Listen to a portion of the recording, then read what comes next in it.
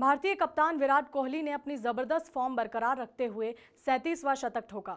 सबसे तेज दस हज़ार रन पूरे किए और भारत को वेस्टइंडीज के खिलाफ दूसरे वनडे में बुधवार को छह विकेट पर 321 रन के मज़बूत स्कोर पर पहुँचा दिया है।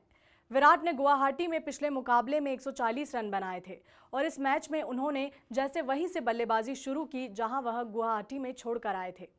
विराट ने सैंतीसवां शतक ठोका और अपनी पारी का इक्यासीवा रन बनाने के साथ ही एक दिवसीय क्रिकेट में सबसे तेज, दस हज़ार रन पूरे कर विश्व रिकॉर्डधारी सचिन तेंदुलकर का रिकॉर्ड तोड़ दिया।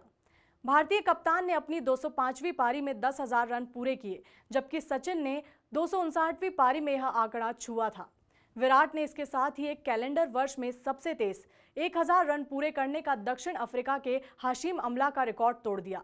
विराट ने एक सौ उनतीस गेंदों में तेरह चौकों और चार छक्कों की मदद से नाबाद एक सौ सत्तावन रन बनाए।